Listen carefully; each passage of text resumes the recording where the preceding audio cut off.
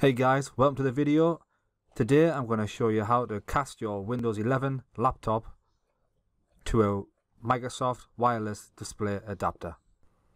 Okay, let's jump straight into the Windows 11 computer. Simply hit the Windows flag key and the letter K together. This will bring up the casting options.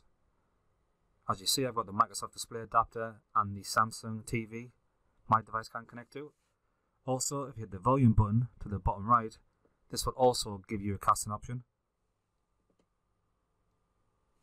If the casting button isn't there, simply hit the add button. Then select casting from the drop down. This will then add the casting shortcut to the Action Center shortcut. Let's head back to the casting button. So I'm going to select my Microsoft Display Adapter underscore 31. I you see, it's trying to connect. This may take a couple of seconds depending on the device and how far the device is away from your machine.